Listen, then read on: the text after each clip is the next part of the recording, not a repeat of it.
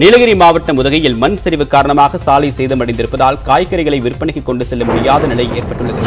உதகை சுற்றுவட்டார பகுதிகளில் அதிகாலை முதல் கனமழை பெய்தது. தொடர் மழையால் கள்ளக்குறையில் உதகை மேட்டுப்பாளையம் சாலையில் திடீரென்று மண் சரிவு ஏற்பட்டது. இந்த சாலையின் மற்றொரு பகுதி விவசாய நிலத்திற்குள் சரிந்து விழுந்தது. இதனால் பத்திற்கும் மேற்பட்ட கிராமங்களுக்கு போக்குவரத்து துண்டிக்கப்பட்டுள்ளது.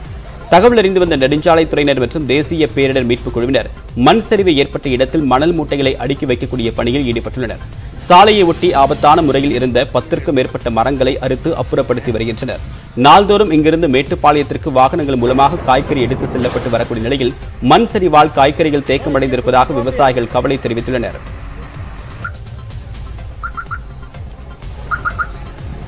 என் காய்கறி எல்லாம் இதில் இருந்த மேட்டுப்படத்துக்கு கொண்டு போகிற ரோடு.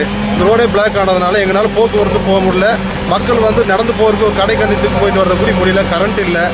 வாழ்வாரம் ரொம்ப பாதிக்கப்பட்டுச்சு. மக்கள் ரொம்ப இரு பேருக்கும் பாதிக்கப்பட்டிருக்காங்க. இது ஏதோ கவர்மெண்ட் பார்த்து இந்த விவசாயத்துக்கு அழிச்சதுக்கும் இந்த மாதிரி ஆனதுக்கு எங்களுக்கு ஒரு நல்ல ஒரு ஹெல்ப் பண்ணி எங்களுக்கு ஒரு நிவாரணமாக கொடுத்தா எங்களுக்கு ஒரு ரொம்ப ஹெல்ப்பாக இருக்கும். சென்னை தாம்பரம் அருகே மாணவர்கள் நிற்பதற்கு கூட இடமில்லாத எட்டடி ஆறங்களும் கொண்ட அறையில் அங்கன்வாடி செயல்பட்டு வருகிறது. புது பெருங்கலுத்தூர் சதானந்தபுரத்தில் இயங்கி வந்த அங்கன்வாடி ஆறு வழிச்சாலை பணிக்காக இடித்து அகற்றப்பட்டது. அங்கன்வாடிக்கு வேறு கட்டணம் இல்லாத சூழ்நிலையில் வாடகை கட்டடத்தில் நடத்துமாறு சமூக நலத்துறை அதிகாரிகள் தெரிவித்துள்ளனர். அங்கன்வாடிக்கு ஆயிரம் ரூபாய் வாடகை தரப்படக்கூடிய நிலையில் சிதானந்தபுரத்தில் ஆயிரம் ரூபாய்க்கு மிகச்சிறிய அறை வாடகைக்கு எடுக்கப்பட்டு ஓராண்டாக அங்கன்வாடி அங்கு செயல்பட்டு வருகிறது. எட்டடி ஆறங்களும் கொண்ட அந்த சிறிய அறையில் குழந்தைகள் அமர்வதற்கு கூட போதிய இடம் இல்லை. முப்பது குழந்தைகள் உள்ளதால் அங்கன்வாடிக்கு வெளியிலும் அருகில் உள்ள சந்திலும் மாணவர்கள் நிற்கக்கூடிய நிலை ஏற்பட்டுள்ளது.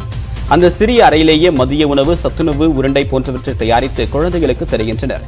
எரிவாயு சிலிண்டர் சமையல் பொருட்கள் போன்றவற்றை வைத்துக் கொண்டு மாணவர்களையும் அதே இடத்தில் அமர வைத்து மோசமான நிலையில் அங்கன்வாடி நடந்து வருகிறது.